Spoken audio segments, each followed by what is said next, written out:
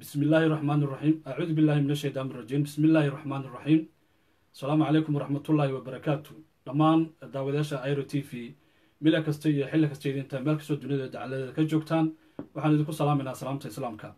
Waa barnaamijyadeeni taxan ahaa ee aad kala socoteen airo t v waxaynu maanta ka hadli doonaa barnaamij cusub oo darnay ku biiristii ururka jaamacadda carabta ee qarankii soomaalida ku biiray ayaynu ka hadli doonaa barnaamij nooca ah barnaamijka waxaa igala qeybgeli doono haliyey doctor cabdulcasiis maxamed takar oo jooga toronto dalka canada. Sidoo kale halgamaa aadan maxamed awkaahiye oo ku magac dheer awrka cirka oo joogo caasimadda ummadda soomaaliyeed ee magaalada muqdisho. Mudanayaal wadi maqlaysan soo maaha? Waa hagaag. Waxaan ku soo dhaweynayaa marka koowaad doctor cabdicasiis ayaan ku soo dhaweynayaa doctor cabdicasiis dadka soomaaliyeed waxay in badan u jeel qabaan gaar ahaan da-yarta iminka joogta ogaanshaha wax badan oo soo maray dalkeenna ama qarankeenna maxaad inooga sheegi karaysaa ku biiristii ururka jaamacadda carabta ma wuxuu ahaa dooq ka yimid dadka soomaaliyeed mise dan markaa jirtay. Kusoo dhawow. Bismi illaahi waa ku salaamay faysal oo marti ku ah. Waxa weeye horta barnaamijkaas soo qaadatay waa barnaamij muhiim ah oo dadku inay fahmaan loo baahan yahay ku biiristii jaamacadda carabta.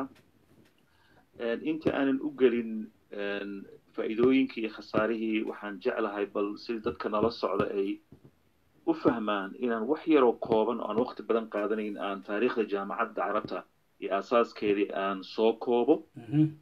Jaamacadda carabtu waxa weeye urur ay ku biireen wadamo caraba waxaa la aasaasay wakti aada u fog oo xataa aysan dowlado badan oo carabah oo xora aysan jirin kun iyo sagaal boqol iyo afartan iyo shantii waktigaas dowlado maba jirin waxaa jira boqortooyin. Waxa lix boqortooyaa isu tagtay oo samaysay jaamacadda carabta boqortooyadii masar iyo boqortooy haashimiyiinta oo joogtay jordan iyo ciraaq iyo lubnaan.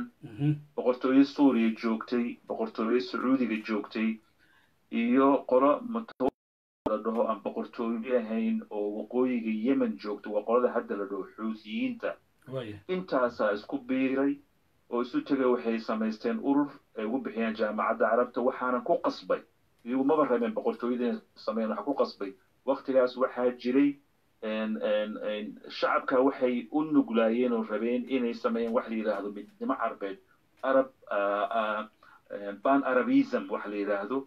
Marka taasaa ku qasabta horta taariikhdaas weye taariikhdii la aasaasay lixdaas dowladda aasaasay soomaaliya waxay ku biirtay jaamacadda carabta kun iyo sagaal boqol iyo toddobaatan iyo afartii wadamo badan oo carab ahoo ay ahayd inay wakti hore ku biiraan sidii baxrain iyo sanad iyo laba sano keliya nagu horreyn. Imaaraadka waxaan filaya laba sano ka hor ama saddex sano bayba ku biireen. Marka dowladdii labaatanaad bay ahayd soomaaliya oo jaamacadda carabta gasho waxayna ahayd dowladdii ugu horreysay oo shacabkeedu usan af carabi ku hadlin oo ku biirta jaamacadda carabta. Taa weye taariikhda kooban oo jaamacadda carabta. Haddaan haddaan marka u soo noqno su'aasha ay weydiisay waxaan filaya inay ahayd faa'iidooyinkii khasaarihii soo maha. Waa sidaa weeyaan. Yacni bulshada soomaaliyeed madooq yacni iyaga xaggooga ka yimid mise dan jirtay ayaa loogu biiray. Marka way hoos imanaysaa faa'iidada iyo khasaarada labadaba si fiican si fiican waxa weeye aniga kolley aragtidayda waxaan aaminsanahay inay labaduba ahayd waya dooqna waa ahayd oo matalan ba dowladdii markaa xukunka haysay dabcan iyadaa dooratay laakiin waxaa ka weynay doorashadeeda sidan anigu qabo inuu jiray xodxodasho iyo cadaadis aada u fara badan sababtaan saa u leeyahan rabaa inaan soo koobo waya waktiga soomaaliya ee ku biirtay jaamacadda carabta oo ah kun iyo sagaal boqol iyo toddobaatan iyo afartii iyo sideeda bannaanba kun iyo sagaal boqol toddobaatameeyadii wakti siyaasadda adduunku ay meel halisa maraysay ahayd. Waxyaabaha dhacaan rabaa inaan kuu sheego intaysan carabta oo intaba xiriira leh xodxodashadaas la xodxodanaya dowladda soomaaliyeed midda koowaad waxa weeye kun iyo sagaal boqol iyo toddobaatan iyo saddexdii sanad ka hor intaysan dowladda soomaaliya ku biirin jaamacadda carabta maraykanku wuxuu ka baxay dagaalka weynaa oo vietnam waxaana jirtay dhibaato weyn iyaga iyo ruushka u dhexaysa. Midda labaad oo iyadana ku xigta waxa weeye isla sanadkaas kun iyo sagaal boqol iyo toddobaatan iyo saddexda waa tuu dagaalkii carabta iyo israa'iil uu dhacay. Dagaalkii lagu magacaabo oo israa'iilka dhibaato lagu gaarsiiyey. Taana waxay ahayd arrin labaad oo jirta. Mid had waxa weeye haddana waddamada carabta ahayd waxay ka goosteen shidaalkii waddamada reer galbeedka taasna waddamada reer galbeedka waxay keentay inay xodxodasho weyn galaan aynu u soo dhowaadaan gobolka aan degannahay tan ku xigta iyaduna waxa weeye maraykanku laftirkiisa waktigaas wuxuu degay diago garcia oo indian oceanka ku taalla. Marka xodxodashaa jirtay waddamada carabta ah oo la yidhaahda moderatka waddamada dhexdhexaadka oo ku dhow waddamada galbeedka. In la soo dhowaysto inay ay labada labada qudbiyo adduunku isku haystay maraykanku uu ku soo dhowaado dhulkan. In isu soo dhoweeyey etoobiya iyo soomaaliya. Taasaa waxay tahay midda ugu asalsan sababaha soomaalida loogu riixay inay jaamacadda carabta galaan. Laakiin haddana dowladdii soomaaliyeed waktigaa jirtay iyadu waxay u aragtay maslaxad inay ugu jirto. Arrintaa maaha inay fiirinaysay arrimahan ku saabsan xiriirka taariikhiga ah iyo cirqiga ah iyo diiniga ah ee waddamada carabta u dhexeeya laakiin midda eegaysa waxay ahayd xiriirka geopoliticska ah iyo kan siyaasadda ah iyo waxa ka dambayn doono loo ballan qaaday oo dhan qaalaha. Marka labaduba waa ahayd. Waayahay waan kugu soo noqon doonaa mudane cabdicasiis aad baad u mahadsan tahay iminkana waxaan u baaqayaa mudane halgama aadan maxamed awkahyo oo ku magac dheer awrka cirka ahna haldoor in badan ka soo shaqeeyey arrimaha dibadda amaba ahaaba ciidamadii saldhigga u ahaa qarankii soomaaliyeed. Mudane ku soo dhowow maxaad adigu inagu soo biirinaysaa arrintan kale oo uu ka hadlay mudanaha? Asalaamu calaykum waraxmat ullahi wabarakaatu wacalaykum assalaam waraxmatullah waa waa mahadsa waa mahadsan yahay raalli ahaada xoogaa xabeeb baa igu jirta waa sax soo dhowow waxaa aada ugu mahad celinaya walaalkay takar cabdicasiis takar oo barnaamijka igala qayb qaadanaya iyo adigoo faysal ah oo daadihinaya iyo intana dhegaysanaysa intaba barnaamijkani waa un kolley barnaamij aada u ballaaran. Runtii marka meel badan laga eegana yacni taabanaya go'aamadii iyo maslaxaddii ummadda soomaaliyeed ee berigaa jirtay iyo kacaankii dowladdii markaa muxuu ahayd soomaaliya u dhisnayd iyo siday ahayd iyo go'aamadii adkayd ee ay qaateen iyo sababihii ku dheliyey iyo wixii maslaxada ugu jirtay iyo waxaasoo dhan bay taabanayaan kun iyo sagaal boqol iyo toddobaatan iyo afartii soomaaliya inay ku biirto jaamicatul carab muhiim bay u ahayd soomaaliya. Aad bay muhiim ugu ahayd sababtoo ah soomaaliya waxa ay u baahnayd xulafo yacni ma garanaysaa aad iyo aad ay arrimaheeda gaashaandhigga arrimaheeda siyaasadda arrimaheeda dhaqaalaha dowlad markaas soo kacday xoog leh oo yacni ma garanaysaa ay garabka ku haysaa dowladihii waa gartay. Raggii la mid ahaa gacanta yani garabka ku haysta ayay soomaaliya isku dhereerinaysay waagaas. Waxaana waxaana koriyey oo wiil yar ay u ahayd soviet union oo markaa ay qaadatay socialistka oo hantiwadaagii ay qaadatay oo la jeclaa soomaaliya yacni si fiicanna yani ma garanaysa soomaaliya midowgii sovieti gaar ahaan ruushku uu soomaaliya uu maaragtay u hagar baxay. Arrimaha marka la fiiriyo dhinaca soviet unionka keliya marka la fiiriyo aan ka fiirinayna siyaasadaha caalamka kaleeto ururada kale ay ku biirayso yacni soomaaliya waxay u ahayd aad iyo aad faa'iido weyn baa soomaaliya ugu jirtay sababtoo arrimahaas aan kuu soo sheegay. Intaa marka laga baxo soomaaliya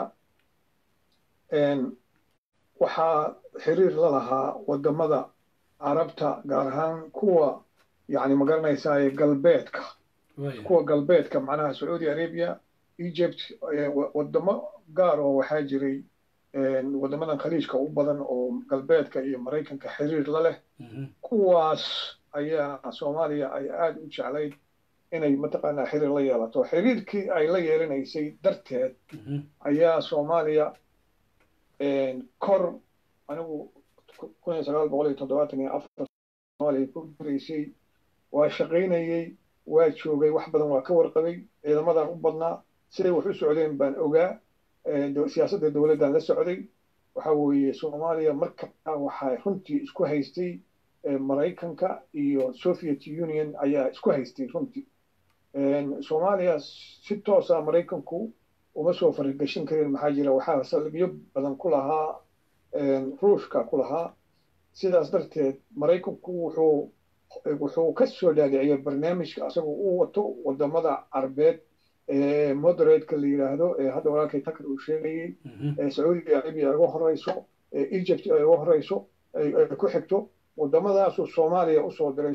Xiriir fiican bay la lahaayeen wadamo waxay ahaayeen aada isku wanaagsan yihiin waddamada carabta.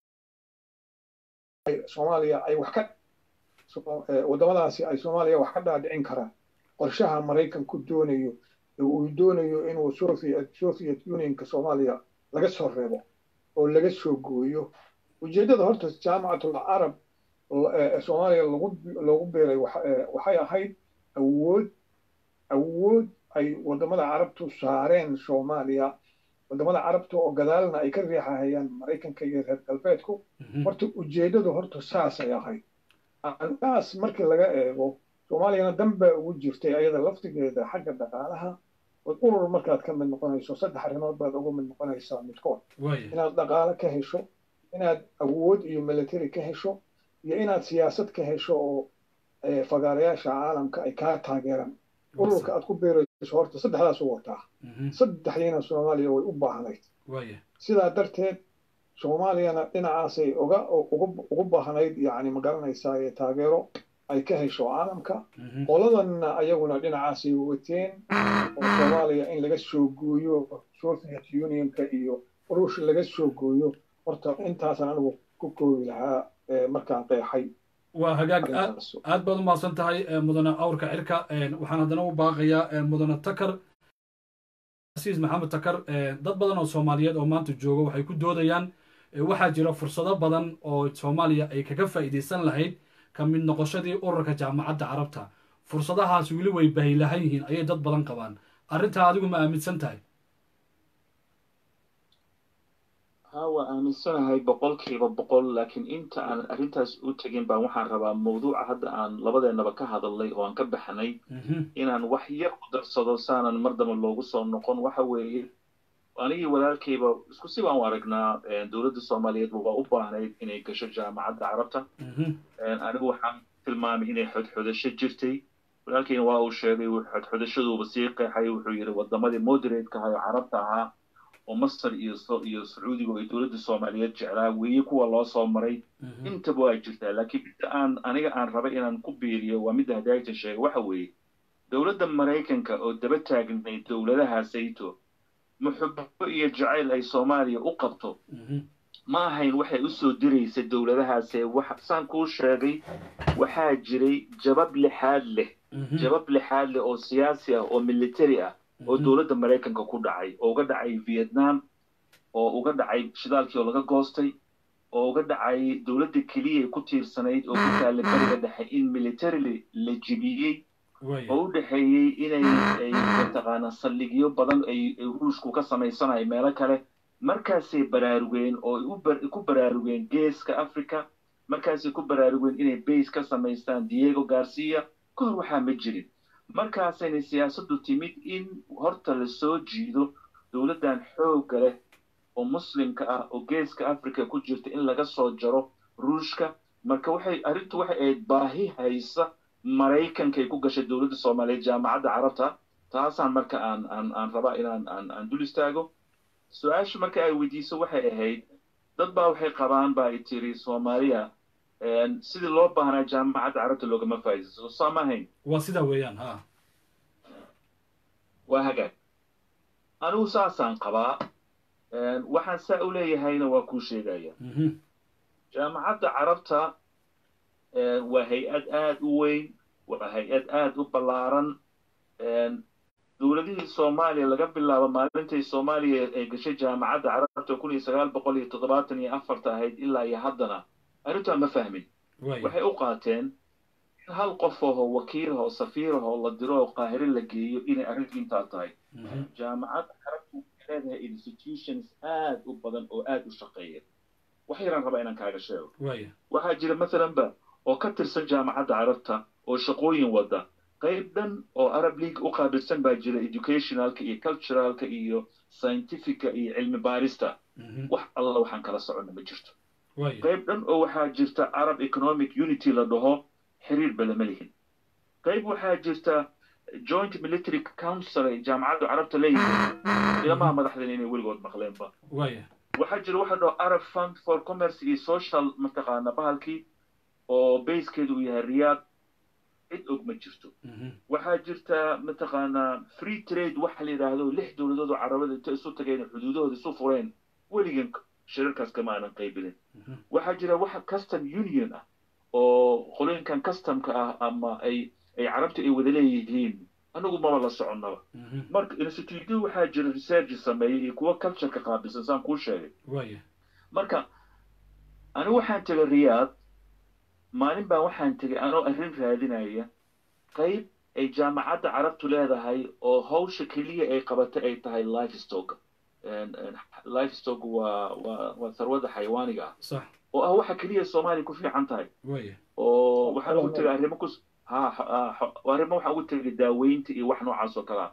Waxay ii sheegeen warshado ay leeyihiin ama xiriir ay leeyihiin oo jordan ku yaalla hadda meeshaas ragga aan ku arkay kulli waxay ahaayeen suudaniyiin iyo ciraaqiyiin iyo jordanian iyo dad kale ana qof soomaaliya kuma arag oo meesha joogay jaamacadda carabta waxaan uga faa'iidaysan lahayn dhinac walba laakiin aqoon darro haysata maamuladii kala dambeeyey oo soomaaliya qabtay baa keenay inaan shirarka keliya noolaga yeero safiirnuu qaahira noo fadhiyo keliya waya okay waad mahadsantihiin qaybtii koowaad ee barnaamijka ee aad kala socoteen iro t v barnaamijkan oo u magac darnay ku-biiristii ururka jaamacadda carabta ee soomaaliya marsina ay noogu yihiin laba mudane doctor cabdicasiis maxamed takar oo jooga toronto canada iyo halgama aadan maxamed awkaahiye awrka cirka oo jooga magaalada muqdisho. Gunta ayaynu kaga jirnaa barnaamijkeeni qaybtii labaad ayaynu u sii tallaabaynaa. Barnaamijkan waa barnaamij mug weyn insha allah qodobo mar kale ayaynu bulshadan u soo bandhigi doonaa. Haddaba labadiinaba waxaad bulshada soomaaliyeed gaar ahaan daayarta u soo bandhigteen wax badan oo muhiim oo ka daacsanaa mudane waxaan u yeerayaa awrka cirka su'aasheeda labaad waxa weeye.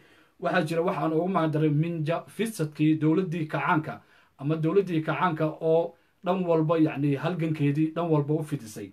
Waxaan kow ka soo qaadanayaa saamayntii soomaaliya ee waddamada quwadaha adduunka sida iminka aada xusteen ruushka rushiya iyo iyo maraykanba. Soomaaliya waxay u ahayd xundhur wayna ku tartamayeen arrintaasi maxaa saldhig u ahaa?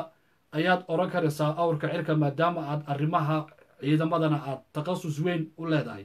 Kusoo dhowow faysal halkaa aan jawaabtii su'aashii horean wax yar qeexayaa ku noqonayaa sida takar u sheegay waa runtiis waa runtiis. Arrimahaas o dhan waa jireen anigu laakiin waxaan ku darayaa sababta soomaalidu ay soomaaliya ay uga faa'iidaysan weyday ururkii jaamacadda carabta oo aana weli ka mid nahay maxaa si wanaagsan looga faa'iidaysan waayey anigu waxaan qabaa laba arrimood inay sabab u tahay. Horta lagama faa'iidaysan wax wanaagsan ama fiican ama muuqda ama la sheegi karo oo hadda jaamacatul carab naga soo gaarina ma jirto ama waa yarta aad bay u yarta. Sababtii waxa weeye horta bal marka ugu horreysa soomaalidu waa waddanka keliya ee aan luqadda carabiga ku hadlin inta badan ee jaamacatul carab ka tirsan. Oo fahamka iyo isdhexgalka bulshada soomaaliya waa ku liidataa markay carabta iyo carabta carabeedka ku hadasha iyo soomaalida ay noqoto. Waa maaragtay halkaas horta waa qodob qodobka labaad ee ugu daran isdhexgalkii carabtu inay qalbiga noo furaan dalalka carabta oo soo dhoweeyaan oo mashaariicda noo furaan oo noo arkaan dal jaamacatul carab ka tirsan oo walaalo ah waxay ahayd. Jaamacatul carab waxaa lagu biray kun iyo sagaal boqol iyo toddobaatan iyo afartii hal sano kadib waayadii la toogtay tobankii wadaad la toogtay jaamacatul carab aad bay u xumaadeen arrintaa waana arrinta ugu weyn oo soomaaliya inaan la soo dhoweynin jaamacatul carab aad aan loo soo dhoweynin in yaroo macnaha bishimaha yani loo magaranaysayo loo qoslo shirarka caalamiga ah maahane wax weyn oo ay ka faa'iidaysan jirin waa arrinta ugu weyn ma garanaysaye soomaaliya hakisay horumarintii ay jaamacatul carab ku samayn lahayd. Anigu waxaan xasuustaa iyadoo abaar baa dhacday markaa abaartii daba dheer baa soomaaliya ku dhacday. Waad ogeyd ruushku sida uu mataqaanaa soomaaliya dhexda ugu xirtay. Sidii soomaaliya ay uga soo kaban lahayd aan loo badbaadin lahaa shacabka soomaaliyeed. Wuuna qabtay. Saasoy tahay jaamacatul carab qayb weyn bay lahayd inay ciyaarto. Abaartaas sanad kadib bay dhacday markaanu ku biirnay jaamacatul carab waxaa la yidhi jaamacatul carab waa fariisteen waxay yidhaahdeen boqol milyan oo dollar oo la doonayay soomaaliya abaaraheeda in lagu taageero. Ayaa la soo bandhigay oo lacagtaasi la goro oo la ururiyo jaamacatul carab lagu ururiyo. Waxay ku adkaatay jaamacatul carab inay lacagtii ururiyaan soomaaliya ay u ururiyaan abaarihii.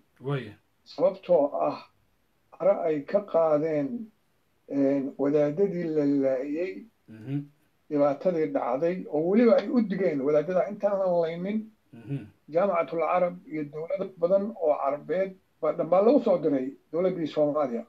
Oo la yidhi arrintaa iyada ah jooji jooji dowladda soomaaliya yaan la laynin laakiin dowladdii soomaaliya sidaasay u aragtay iyadoo inay maslaxadeeda ku jirto. Waa gartay. Yacni caradii halkaa laga qaaday ayaa keentay in boqol kun boqol milyan oo dollar ay adkaato jaamacatul carab inay inay ururiso dowladda. Inta badna waaba diideenba. Maxamed siyaad barrena waxay u bixiyeen maxamedulkaadib bay u bixiyeen. Marka hore intuu yidhi waa yahay waa waa cafinayaa intuu yidhi oo ayaga ka ballan qaaday ayuu haddana hawshiisi ku socday taa iyadaa wax la dafiri karo maaha wax jiray ahayd khaladaadkii la galay bayna ka mid ahayd jaamacatul carab maalintaa wixii ka dambeeyey iyo wixii in badan oo mataqaanaa sanooyinka ka dambeeyey iyo xataa dagaalkii sevenkii aan galnay jaamacatul carab yani wax weyn oo muuqda soomaaliya ma garab istaagin xaqiiqada halkaasna laga baxaya waayahay wixii adigu aad su'aashii ku xigtay aad iweydiisay oo ahayd haddaad su'aashaan ku weydiiyey waxa weeyaan mudane adigoo mahadsan su'aashaan ku weydiiyey waxa weeye barnaamijkan horta waxaan ugu talagalnay inuu musalsal noqdo ama qubano uyaal waana su'aalo badan oo aynu sii wadi doono. Su'aashaan ku weydiiyey waxa weeye dowladda waxay samaysay waxaa noogu magac daray minjafisad oo ah dowladda naankeedii ay dowladnimada ku qotomay ayay ballaarisay waxayna adeer waxaa u fududeeyey laba arrin. Kow horta shacabka soomaaliyeed dowladii horta waxay dowlad ku tahay marka shacabkeedu ay garbaha ka joogaan oo ay la socdaan oo is og yihiin oo isku kalsoon yihiin dowladu markaasay dowlad tahay. Dowladdii markaa jirtay ee militariga ahayd shacabka soomaaliyeed baa garba u ahaa. Anigu waxaan dhihi karaa waagaa markaa aan kuu sheegayo wax mucaarada ahba oo nafle oo la tiriyo oo la sheego oo muuqdaba ma jirin toddobadii sano ee ugu horreeyey ee kacaanku jiray wax mucaarada oo weyn oo muuqda dowladdu markii ay horumar meelo badan ka gaadhay oo aad og tihiin dhinac walba soomaaliya noloshu u baahan tahay tabarteeda ma garanaysaa ay horumar ka gaartay waa muuqatay adduunkii bay ka muuqatay afrikay ka muuqatay dalalkii carabtay ka muuqatay dalalkii waaweynaabay ka muuqatay waxay gaadhay inay egypt waxaan leeyahay meesha la yidhahdo france inay u hanjabto oo jabuuti darteed soomaaliya iyo france ay ku dagaalamaan. Muxuu ahaayeeto meel u dhow lowyacaddo oo ciidamadii soomaaliya loo yacdo iyo xuduudka jabuuti la keenay. Oo france yani ma garanaysaay uu maaragtay soomaaliya arrinteedii muxuu ahayd wax ka qabtay oo dib u fiiriyey soomaaliya. Yani dowladihii waaweynaaye super powerkii ayaa ayay ayay maaragtay u hanjabaysaa oo hadallada iyo dowladdii hore iyo qoraaladii iyo iyo muxuu ahaaye sidii soomaaliya ay u dhaqmaysay meel walbay ku jiraan. Frelimo mozambique iyo angola iyo muxuu ahaaye b l o qoladan muxuu yaasir califaad uu hogaaminayay. Dunida halganka xornimada wadata dhammaan soomaaliya waxay ahayd role model. Wax wax qarsoonna ma ahayn. Sida kadaafi uu africa haddii dambe u soo ugu soo noqday inuu mataqaana aabihii africa yahay oo ayaa soomaaliyana berigaas waxay ahayd waddanka keliya ee africa ka muuqda ee apartheidka ka soo horjeeda ee waddamada gumaysiga ku jira xornimada u raadisa ee wufuudda africa ay soomaaliya muqdisho ay ku soo shubmaan. Oo muxuu ahaaye halkaas laga laga laga magaranaya laga maqaano soomaaliya dowlad weyn bay ahayd. Marka taasaa u keentay inay dunidu ay sidii dowlad weyn ay ula macaamilaan. Waa hagaag gebagabadii barnaamijkeenaan ku sii siqaynaa qodobada dambe qodobada kale inoo harsan dib baynu u dhigan doonaa. Laakiin qodobkaanaan rabaa inaan mar kale ku soo dhaweeyo mudane takar. Mudane takar magaalada muqdisho siduu hadda uu xusay mudane awrka cirka. Waxaa jirtay xilli afar iyo toddobaatankii quwadaha adduunka ay dhan isugu yimaadeen kuwii shuuciga ahaa iyo kuwii hantigoosadka ahaa. Waddamada africa ee xorriyadoonka ah ama xorriyadda doonaya sida hadda uu mudanaha uu sheegay oo kale sida guinea bissow waddanka leda angola mozambique zambia zimbabwe south africa dhinaca asiana waddankii falastiin intaba soomaaliya waxay ku haysay gacanta caalamkii ruushkii iyo maraykankii ilaa cuba oo fidel castro uu toos u yimid magaalada muqdisho waxaa jiray boqor xayle salaasi oo markaa ka yimid xuskii boqorkii shaah ee iiraan inuu magaalada muqdisho yimid. Magaalada muqdisho waxay u ahayd hoy caalamka wufuudi ka kala socday. Markaad eegto xilliga ayada ah idinkuna aad joogteen. Muuqaalka markaa iyo hididiilada iyo nolosha markaa dadka soomaaliyeed. Bal sawir naga sii. Waxa weeye horta siduu sheego weeye mudanaha. Aadan oo haddaba isagu markaa sarkaal ahaayo wax badan oo anigu aan ogeyn og laakiin inta anigu aan soo gaaray waxa weeye waxaa jiray xasilooni waxaa jiray wanaag waxaa jiray dadkii oo raba inay iskaa wuxu qabso ku shaqaystaan oo garab istaagan dowladda. Laakiin anigu haddana ra'yi gaar aan qabaa. Yacni waxaa fiican mugsoonta markii arrimo laga hadlaayo oo taariikh la xusaayo oo dad ay wax hadhow naga dhegaysanayaan in siday wax u jiraan loo sheego. Maxaa yeele hadalkaas waa hadal hari doona. Dowladda soomaaliyeed oo jirtay oo xoogga lahayd toddobaatameyadii ilaa toddobaatan iyo toddobadii maxaa wixii ka dambeeyey dagaalkii ethiopia waa naqaanaa dowladda soomaaliyeed iyo howlaha ay dhex gashay. Dowladdaas xoogga weyn leh oo jirtay waktigaas shaqooyin badan oo wanaagsan oo ay qabatay hadday noqon lahayd tii afkii qoritaankiisa hadday noqon lahayd tii abaaraha hadday noqon lahayd bacad celinta hadday noqon lahayd iska waxu qabsado hadday noqoto warshadayntii in waddanku isku filaasho uu gaaro waxaasoo idil waxay ahaayeen wax loo qoray oo loo diyaariyey oo loo habeeyey oo loo maalgeliyey oo uu ruushka gacanta ku hayo. Ma ahayn waxay soomaali gacan ku hayaan. Iyo waxay fikiri karaan iyo waxay arki karaan. Masaladan ah in la taageero waddamadanayto namibia iyo lesoto iyo fikirka ruushka oo ku fidayay africa u ahaa. Dowladda soomaaliyeedna hadda cududeeda iyo galgalnimadeeda iyo geesnimadeeda la adeegsanayay markii laga hortagayo milton abuto iyo markii la taageerayo markii dambe idi amin iyo waxyaaba noocaas oo kala hawshan kaloo ah in shacabka la mobilis gareeyey oo shacabka oo dhan laga dhigay shacab mataqaana dowladda hoos joogana. Hadda dowladda ruushkaa saas u samaysnayd iyo dowladaha shuuciga sida yamanta koonfureed iyo marka horta ma siinayna dowladdii markaa jirtay. Waxa weeye waxay fulinaysay oo ay ku fiicnayd qorshe shuuci ah oo ay ruushku diyaariyeen oo aad u habaysan oo aad u cilmiyeysan markazi markazism leninism soo jira boqolaal sano baa shacabka lagu dabaqa shacabkuna u nuglaayeen shacabkuna dad musaalimay ahaayeen oo dowladdooda jecel oo rabo mataqaanaa inay noolaadaan waxyaabo badan oo xuquuq ah oo aysan waagi hore haysana helay. Intaasay ahayd sheekadu laakiin suuradda waa siduu tilmaamay. Dowlad markaas u muuqato xoog leh. Wufuud ayuu magaalada iskugu yimaadaan. Tallaabooyin qaadaysa laakiin hawsha ka dambaysa oo dowladdaas ka dhigaysa saa waa dowladda ruushka. Daliilna waxa u ah maalintay dowladda ruushka ka baxday soomaaliya maalintii soomaalidii madaxda ahaa loo daayey inay maamulaan shacabkooda. Waa fashilmeen oo ku soo jeesteen ummaddii oo kharribeen dalkii oo ceebahooda dhan ay soo baxeen. Intaasaan uga baxaya waad mahadsan tahay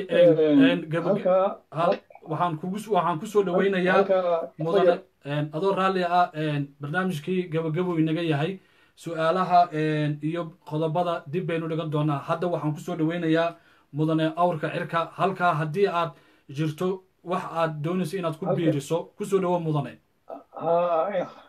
Halkaa noqdo yar baa iiga jirta oo aan ku diidanahay saaxiibkay sakar waa hagaag ku soo dhawo. waxa weeye dowladda ruushku ama soviet union waana taageereen meelo badan bay gacanta ku hayeen.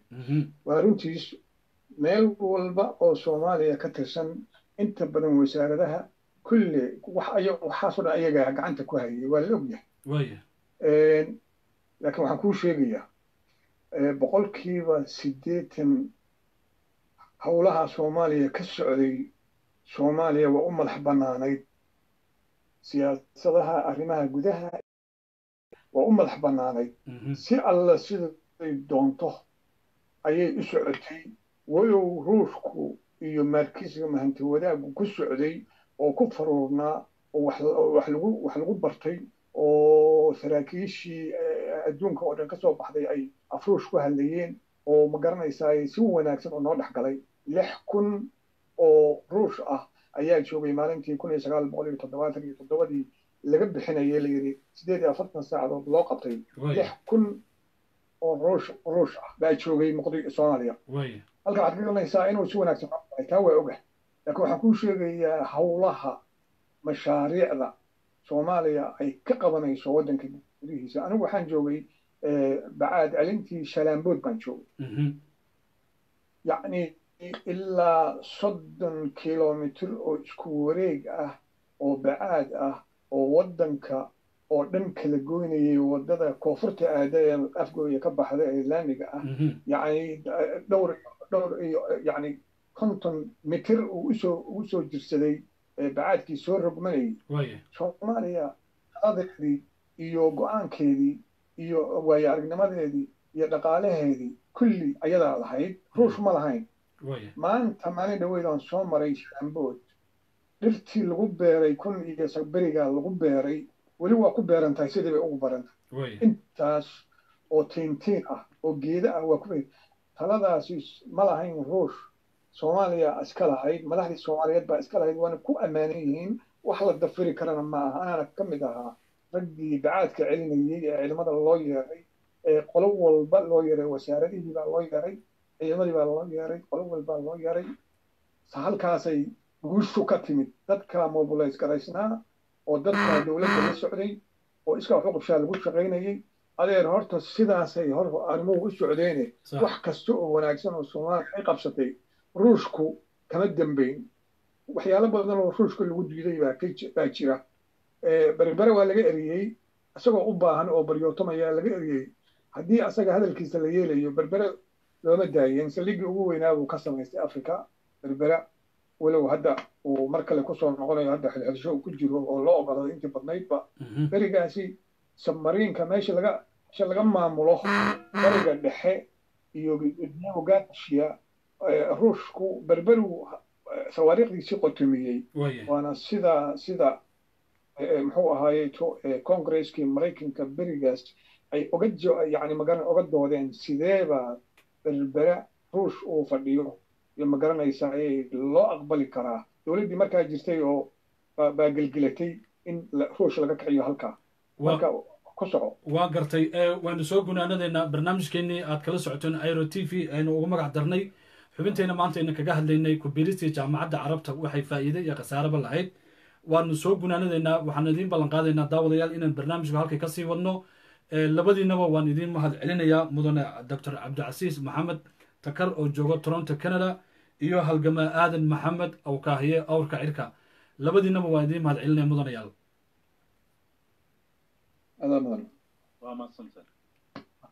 Waayahay inta ayaanu ku soo afmeeraynaa barnaamijkeenii gaarka ahaa in maanta aynu doonayno inaynu ku qaada dhigno